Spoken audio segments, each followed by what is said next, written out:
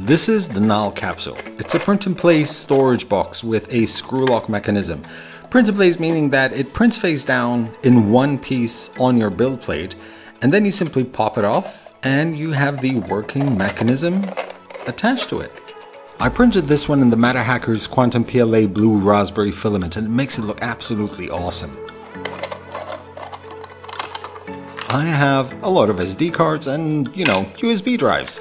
So I chose this one to put the micro SD card, but then I printed me a bigger one.